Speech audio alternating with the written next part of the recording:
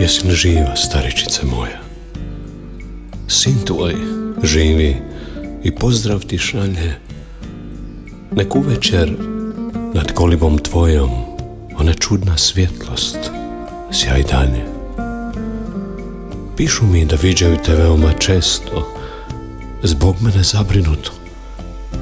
I da ideš svaki čas na cestu u svom trošnom starinskom kaputu, sutonu plavom, da te uvijek isto priviđenje muči, kako su krčmi, finski nož u srce mi zaboli u tuči.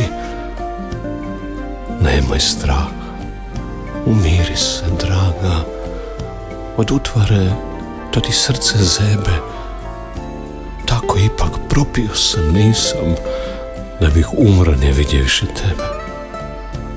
Još uvijek sam nježan i srce mi živi samo snom, da što prije pobjegnem od jada i vratim se u naš niski dom.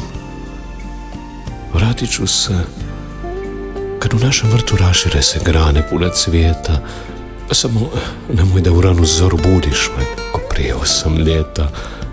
Nemoj budit ocanjane snove, nek miruje ono čega ne bi. Već rano zamoren životom, samo čemer osjećam u sebi. I ne uči da se molim, pusti, nema više vraćanja ka starom. Ti, jedina utjeha si moja, svjetlost što mi sija istim žarom.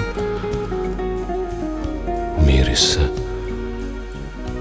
i nemoj da te viđaju onako zabrinutu i ne idi svaki čas na cestu u svom trošnom starinskom kaputu.